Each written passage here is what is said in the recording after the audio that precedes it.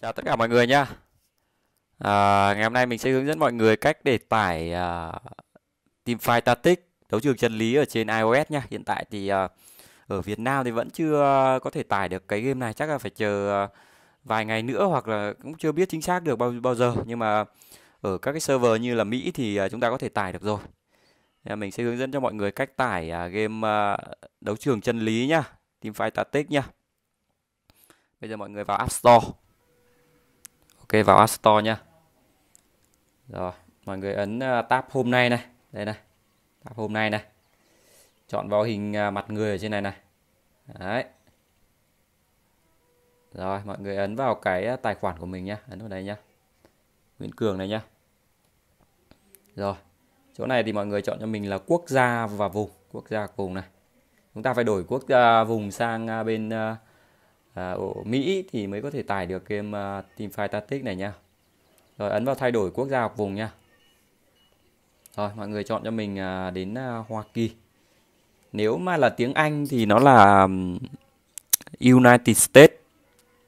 Còn uh, tiếng Việt thì nó là Hoa Kỳ anh em nha. Đấy. Rồi, mọi người ấn tiếp cho mình đồng ý. Đây, đồng ý đây nhá. Đồng ý điều khoản thôi. Đồng ý. Ok. Rồi, chỗ này à, đến à, khu vực này thì à, mọi người ấn chọn cho mình cái đầu tiên là mọi người chọn cho mình năn nhá. Phương thức thanh toán chọn năn nhá. Rồi. À, rồi, tiếp theo cái địa chỉ thanh toán này thì mọi người phải nhập đúng nhá, nhập đúng như mình à, một cái địa chỉ bất kỳ thôi nhưng mà phải nhập đúng. Thì mình à, mọi người có thể nhập theo mình luôn. Ok nha.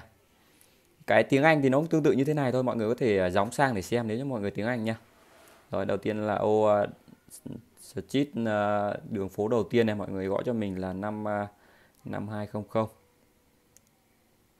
Rồi, Lansker. Mình có thể copy uh, cái thông tin này ở phần mô tả video mọi người có thể uh, xem ở phần mô tả video cũng được nha. Cơ sim. Rồi.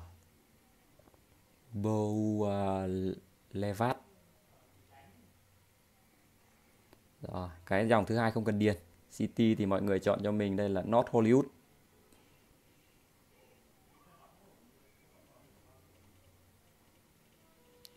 Hollywood.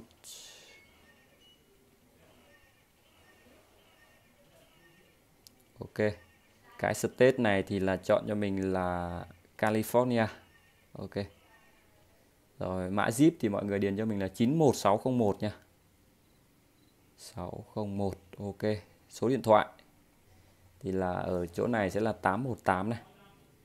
Bên này sẽ là 655 9977 số rất đẹp.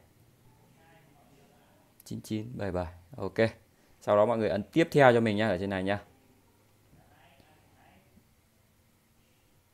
Rồi ok. Như vậy là mọi người đã thay đổi vùng thành công. Ấn ok ấn xong nhá. Ấn xong. Rồi.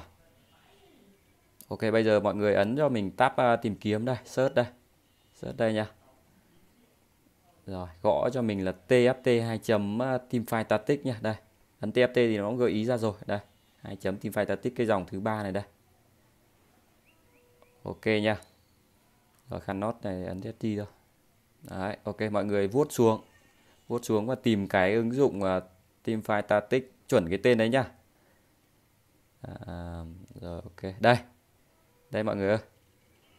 Cái này thì mình uh, vừa tải rồi nhưng mình sẽ à, gỡ la để mình à, tài tải lại cho mọi người. Thì mọi người ấn vào đây nha ok.